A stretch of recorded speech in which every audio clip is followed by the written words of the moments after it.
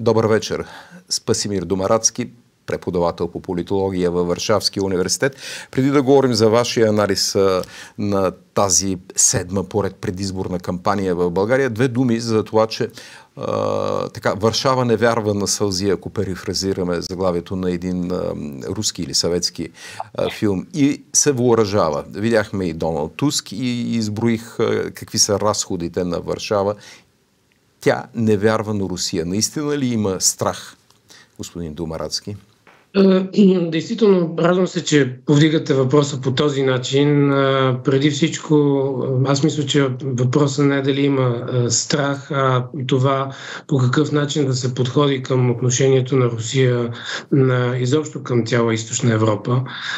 Действително, Польша се въоръжава, в момента се твърди, че полските разходи са около почти 5% от брутния вътрешен продукт, което е а, огромна сума, но това, което а, е по-важното, бих казал, е на тази реакция, а, защото преди няколко дена шефа на генералния щаб по време на откриването на учебната година в едно от военните висши училища каза, че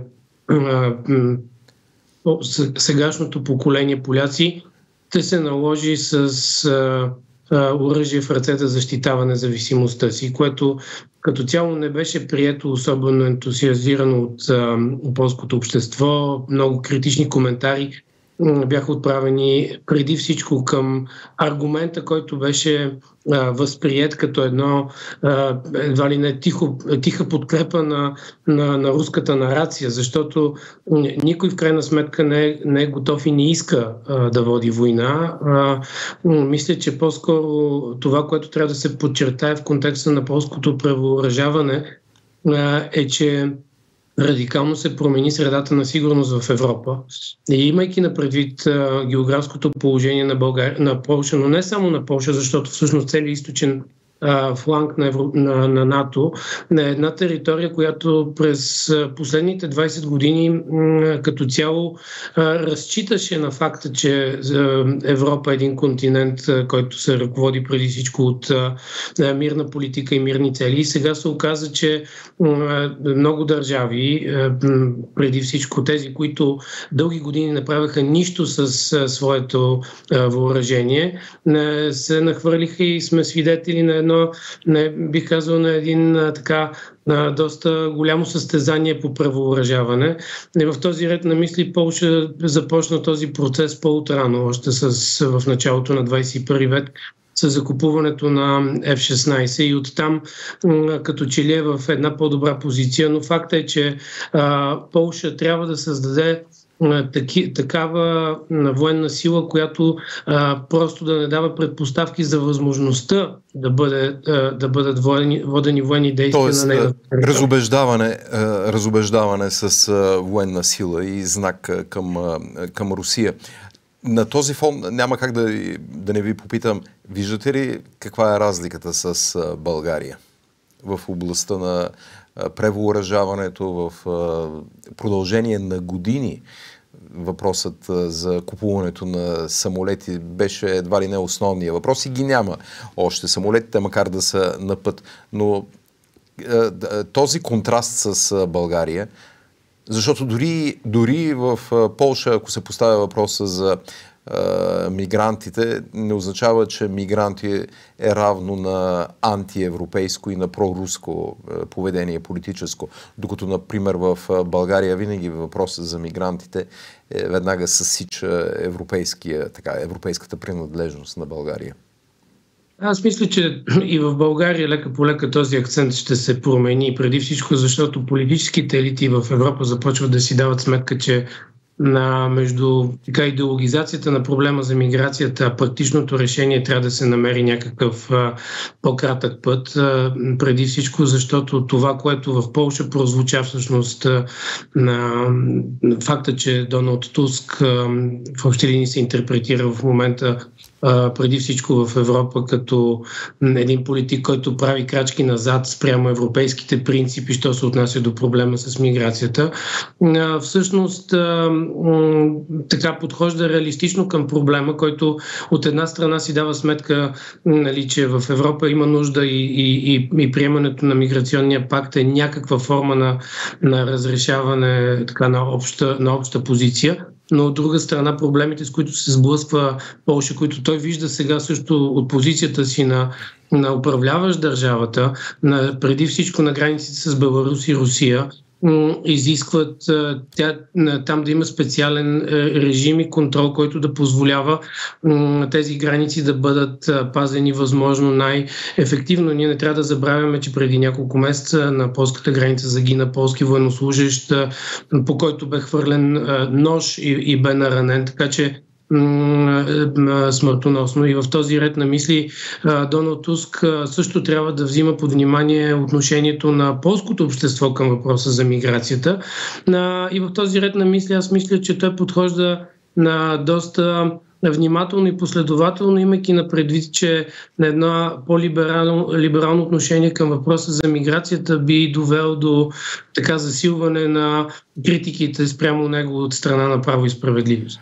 Влизаме в София. Не знам дали видяхте, господин Домарацки, тези кадри, които са, не знам дали ще могат да ги покажат колегите от продължаващия протестен митинг в центъра на, на София. Митинг организиран от инициативата Правосъдие за всеки и подкрепен от Продължаваме промяната Демократична България, както и от други партии, като Ние идваме или пък Боец. На къде това знак за какво е? Има ли опасност България да се срине към авторитарен режим като Орбан или Фицо? Или да, да има нов проект на, на Румен Радев, който да използва а, така, недоволството и нетърпението за бързи решения в политиката в българското общество?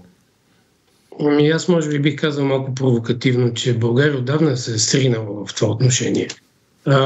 И то не в ред на мисли, че ние сме същите като Орбан, а че модела, който функционира в България като крайен ефект е, горе-долу дава същия образ на това, което прави Орбан, само че без това чувство на, на, на, на така еднолично, е, еднолично ръководство, а по-скоро на един елит, който, който контролира държавата в това, което вие е, нарекохте в началните моменти на предаването като завзетата държава.